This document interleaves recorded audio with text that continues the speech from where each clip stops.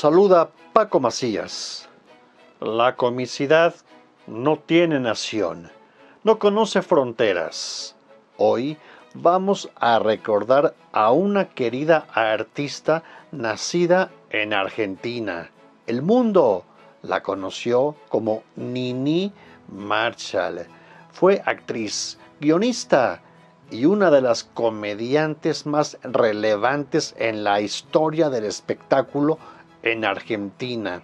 Tuvo una breve participación en el cine mexicano en su época de oro, al lado de grandes figuras como Joaquín Pardavé, Germán Valdés Tintán, muchos más. Repasemos parte de su vida y su obra. Marina Esther Traverso abrió sus ojos por primera vez un lunes de junio de 1903 en el barrio porteño de Caballito, en Buenos Aires. Fue la menor de cuatro hijos de un matrimonio asturiano que se conoció en Argentina. Marina era cariñosamente llamada Marinina, de ahí nació el mote de Nini. Tuvo feliz infancia, aunque no llegó a conocer a su padre, ya que murió dos meses después de su nacimiento.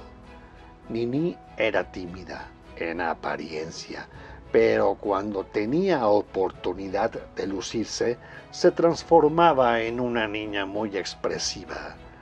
Despertó desde pequeña su gusto por el arte.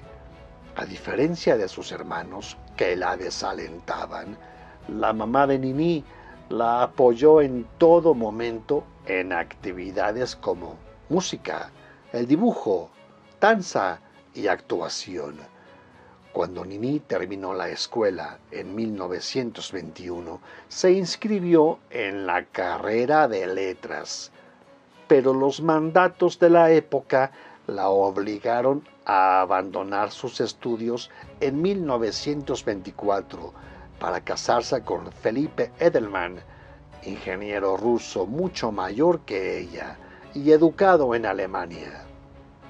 Con Felipe tuvo Nini a su única hija, Ángela, quien llegó al mundo en 1926. Nini intentó llevar una vida ordinaria durante los primeros años de su matrimonio. Tenía una tradicional vida doméstica. Seguía a su marido a la pampa pero al poco tiempo Felipe mostró un obsesivo gusto por el juego. La relación con Iní se vino abajo porque la ludopatía del marido endeudó severamente a la familia. Felipe perdió todos sus bienes a causa del juego, entre ellos la casa donde vivía con Iní. Ella lo toleró hasta donde pudo, pero finalmente eligió el bienestar de su hija y se separó de su esposo. Nini quedó sola frente a las circunstancias como madre soltera. Marchó hacia la ciudad de El Rosario y buscó refugio en casa de sus hermanas. Esa posada fue temporal Nini se hacía adulta con rapidez y pronto comprendió que debía labrar su propia senda. El destino la llevó de regreso a Buenos Aires y buscó trabajo. Nini era inquieta, inteligente y en 1933 consiguió empleo como redactora en la revista Novela Semanal tenía una columna donde escribía sobre temas femeninos. Su notable desempeño y la experiencia adquirida en esa casa editora la llevaron al semanario Sintonía. Ahí tenía una columna llamada Alfilerazos, donde comentaba jocosamente los chismes faranduleros y sucesos radiales bajo el seudónimo de Mitzi. En la década de los años 30, la radio cobraba fuerza en la sociedad argentina y Nini se sentía atraída por el micrófono. En 1934 ganó un concurso y fue nombrada cantante internacional con el nombre de Yvonne Dercy. Comenzó a circular por distintas estaciones radiofónicas. Una tarde, Nini bromeaba con los músicos haciéndose pasar por una mujer española.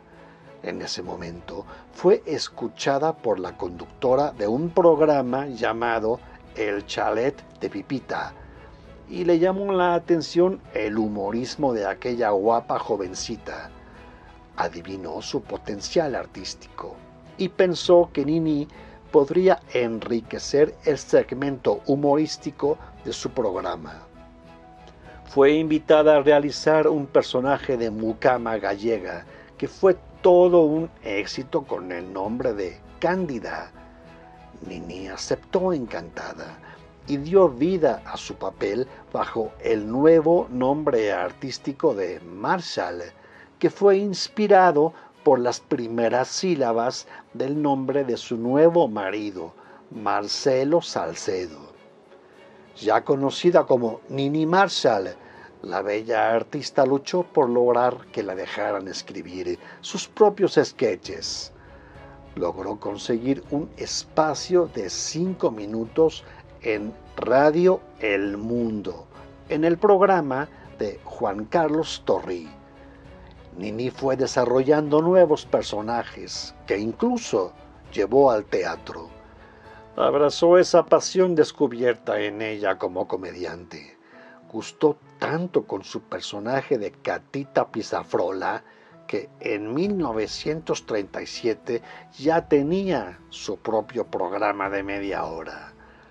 La revista Sintonía, donde Nini había trabajado en sus inicios, la reconoció como sensación radiofónica.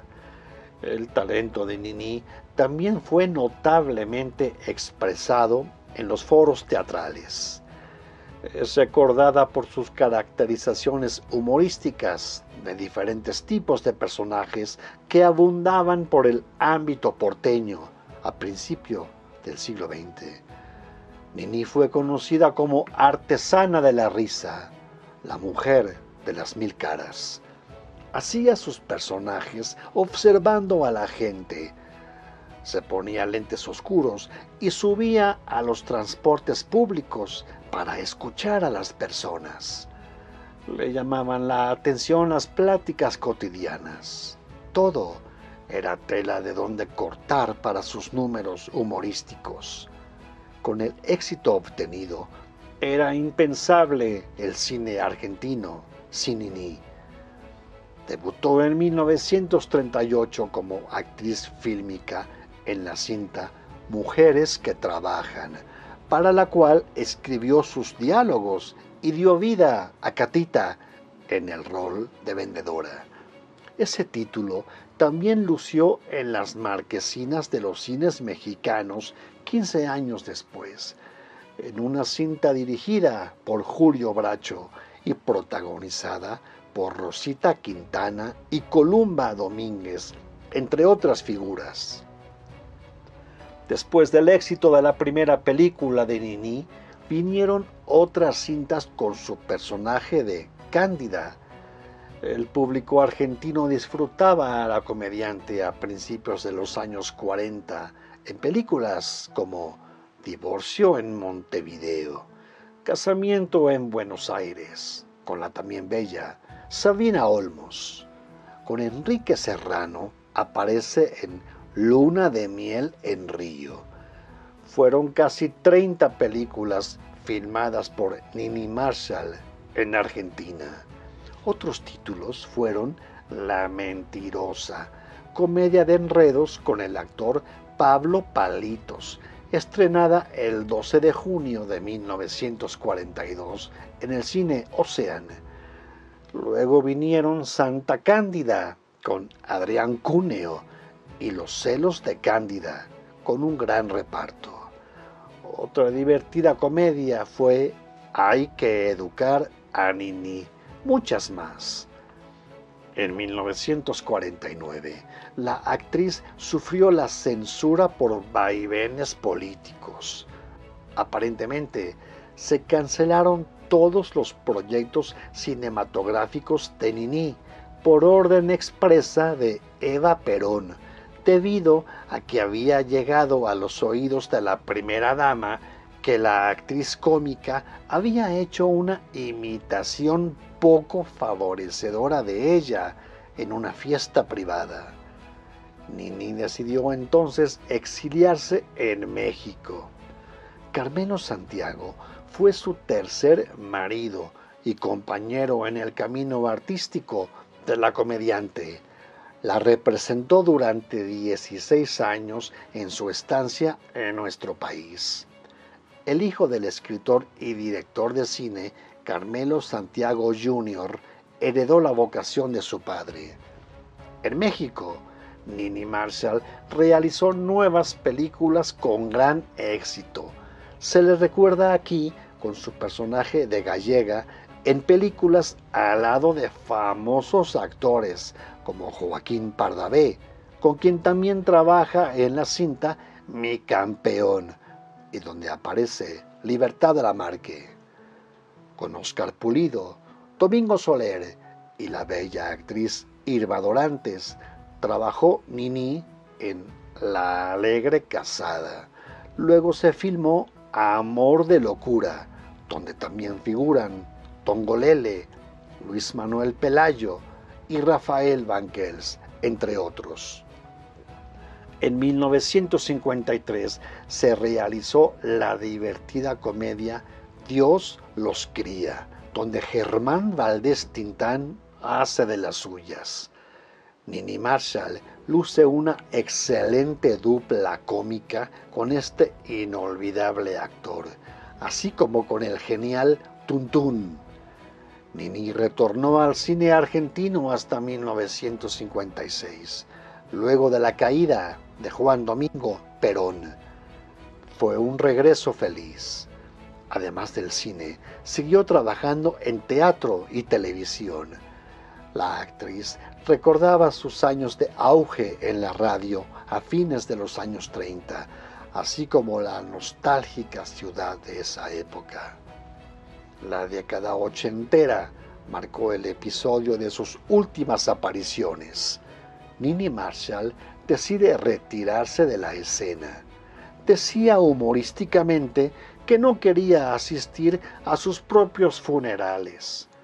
Según confesó su hija, a Nini le costó mucho tomar esa decisión. La famosa comediante recibió a lo largo de su carrera decenas de homenajes y reconocimientos. La última aparición pública de Nini Marshall fue en diciembre de 1995, cuando asistió al Teatro Nacional Cervantes para acompañar a su amiga Libertad Lamarque en el homenaje que le brindó la entonces Secretaría de Cultura de la Nación. Nini Marshall vivió durante muchos años en el número 219 de la calle Defensa, sobre la farmacia de la Estrella, famosa por ser la más antigua de Buenos Aires. Ese inmueble es parte del Museo de la Ciudad. En 1996, la salud de Nini comenzó a rendirle cuentas. Fue ingresada a la clínica Basterrica, donde al 18 de marzo dejó este mundo por una insuficiencia cardíaca a los 93 años de edad. Su hija Angelita fue encargada de cuidar con infinito amor y respeto el legado invaluable que su mamá le dejó. Hasta el último momento, Nini Marshall se mostró agradecida por el amor de su público. Su carisma y gracia la hicieron inolvidable. Nini Marshall fue una gran observadora de la vida y eso quedó plasmado en su obra. A través de sus películas se puede apreciar la forma en que disfrutó intensamente cada etapa que su carrera le brindó como actriz y reina de la comicidad. Hoy su figura queda inmortalizada en nuestra galería de estrellas. Y hasta aquí esta historia. Hasta la próxima amigos.